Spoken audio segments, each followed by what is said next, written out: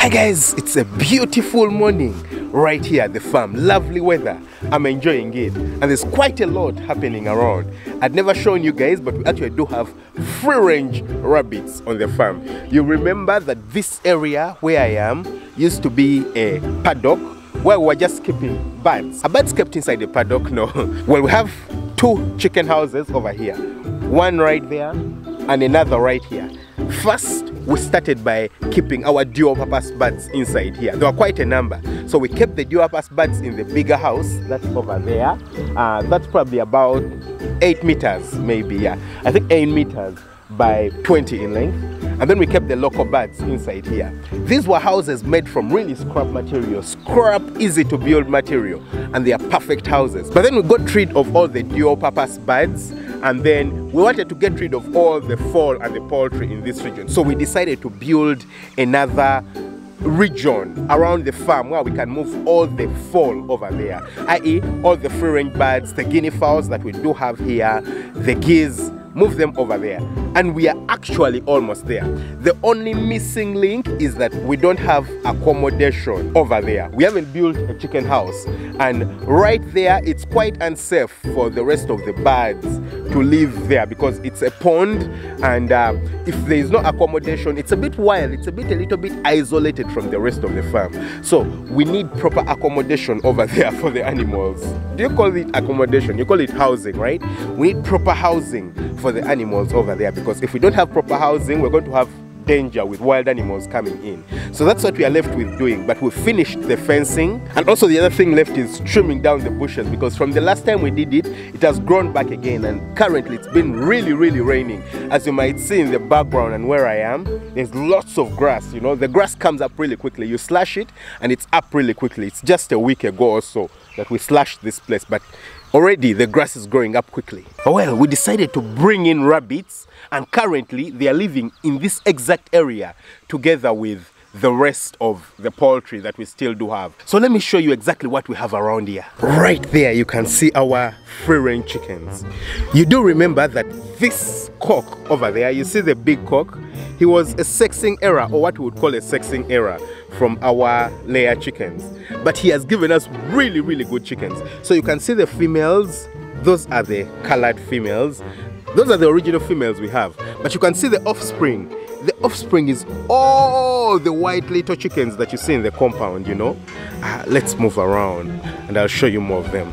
Yeah, all the white, literally all the chickens running around are offspring of our sexing errors. You see them? And whoa, we have an egg here. What's an egg doing over here?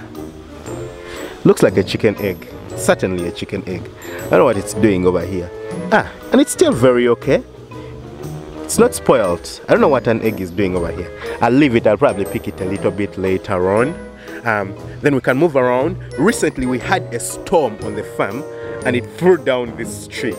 Luckily enough, it didn't fall on the fence over there. But again, when we move closer, you can see the rest of the chickens that we have. They're all white in color. Well, apart from the originals, you know, on the farm. There's a few originals. And take a look at what I'm talking about. That's one of the rabbits on the farm. Yeah.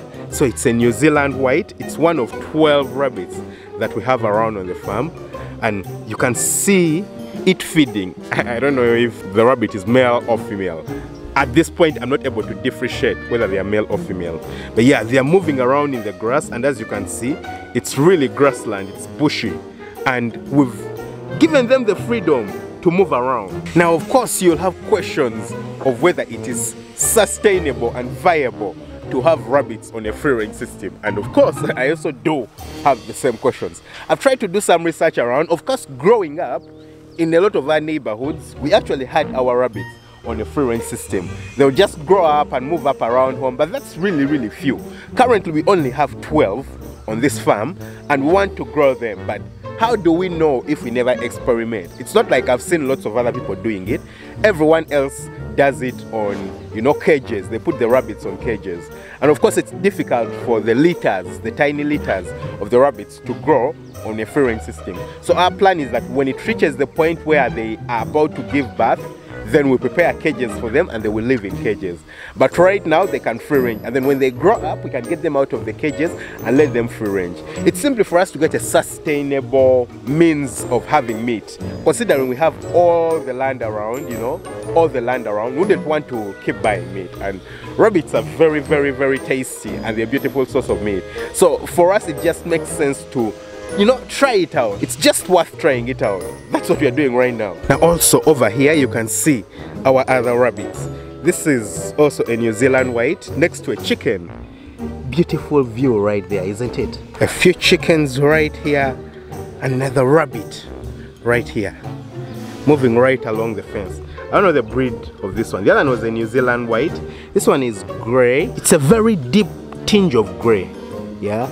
At first I thought it was like Flemish, but then it's too dark for it to be a Flemish. So I'm sure it's not a Flemish. Uh, if we move around, you can see a bit more of our birds. This is a broiler breeder. Yeah, it's a sexing error among this, the broiler breeders. You can see how big he is. Really, really big. And he's all paused. you might think he's not alive. Hey, come on. Ooh, he's trying to fight my leg. Take a look at that. Huh? He's like, who are you? Who do you think you are? I look like a threat to him. this is really interesting. Anyway, I'll let him go, not stress him off. Then here you can see the rest of our birds. Some of them are also breeding errors, and then some of them are offspring of the, for example, you see the one running in the background? Yeah, that's a sexing error. That's one of our sexing errors. But then some of them over here, for example, this brown one, the two brown ones are the originals, you know, they are the originals on the farm. They've been here amongst the longest birds. Then some of the smaller ones, for example, that one there on the side, she's the offspring of the sexing error, the male sexing error, the one that I showed you right at the beginning of the video. Um, this is also a sexing error He's not a sexing error, he's actually just a weak bird. You know, amongst our male breeders, the layer breeders, you'll occasionally have some that are really, really weak.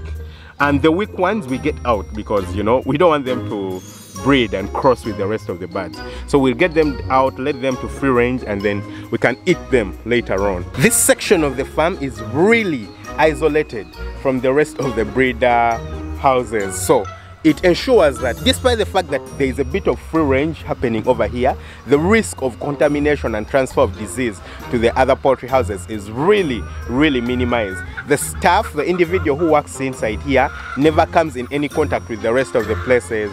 He only lives in here. Now, for example, I've been here and I've spent my time here, I can't dare to go to any of the breeder houses, you know.